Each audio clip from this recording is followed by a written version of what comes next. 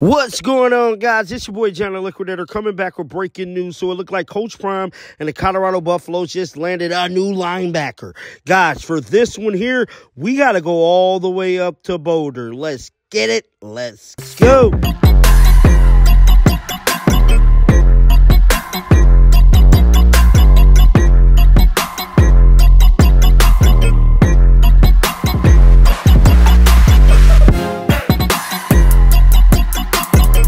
Like I told you guys last night, good news was on the way, bruh.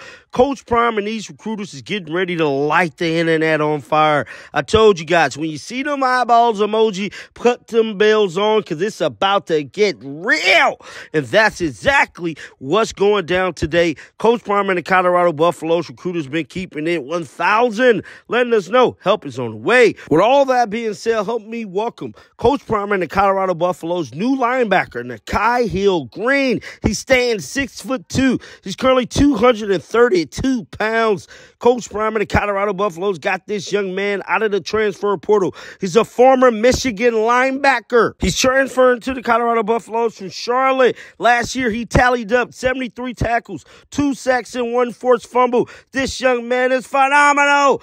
I told you guys, Coach Prime and these recruiters is working, working. Get down in the comments section. Let me know your thoughts about this and keep them bells on because more news is coming in a couple hours. And like always, until next time, y'all already know how I'm rocking. Shake the haters off. I'm out of here. Peace out.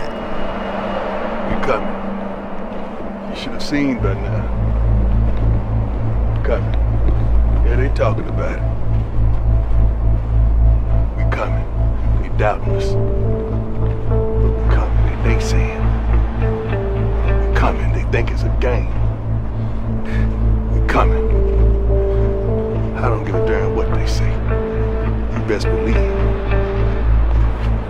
we coming.